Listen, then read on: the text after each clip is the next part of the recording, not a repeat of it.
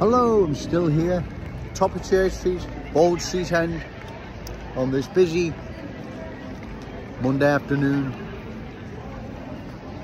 The good people of Liverpool deserve a say as to what is happening to their city. Their city is being culturally changed. It's being changed into a different place without their consent. The politicians don't want to discuss what is happening. They don't want to deal with the awful truth of cultural change. They are just ignoring it like it's going to go away when it's not. And if you believe the good people of Liverpool are going to roll over and just let cultural change steamroll their glorious city, then you're in for a shock, right? I believe now it's time the good people of Liverpool had a say as to what is happening to their city. Their city is being culturally changed into a different place. Long term will not be in our city's interest. Trust me, it will not. Therefore, the good people of Liverpool deserve a say as to what is happening to their glorious city.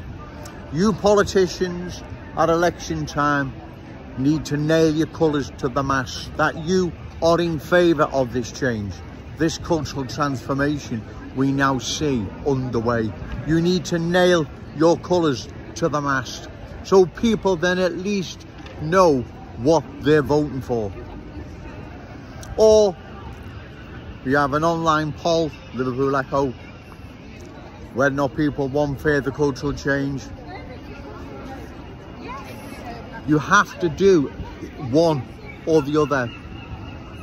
Either an online poll where people can cast their vote when not for or against further cultural change or at election time coming council elections or by-election in between you nail your colours to the mast on your election literature on your social media platforms that you are in favour of further cultural change. So anyone that votes for you is for further cultural change or you're opposed to it. That is what I suggest needs to happen, right? Well, don't hold your breath, the good people of Liverpool, because it's not happening, right? But Joe Owens, once again, I'm going to put, put this to them, put them on the spot either an online poll for or against further cultural change or at election time state in your literature, your leaflets, social media platforms that you are in favour of further cultural change for our city. Short of that, ladies and gentlemen, you need to find a candidate in your neighbourhood credible, reliable and opposed to further cultural change and give them your vote. I believe the politicians, Liam Thorp, Liverpool Echo oh, and many others will deny the good people of Liverpool an online poll on the Liverpool Echo website. I don't believe they will let such a poll take place and they most certainly will not be nailing their colours to the mast at election time where they stand regarding further cultural change. They will do what they've been doing for several years now and just ignoring the awful truth. Well, it's up to us, ladies and gentlemen. And that's what we have to do now. Put them on the spot or we find candidates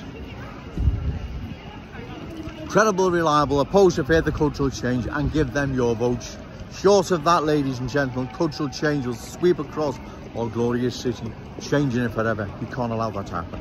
Remember, no to cultural change. Yes to Scouse pride. Shout it out loud, Scouse and proud. Okay, thank you.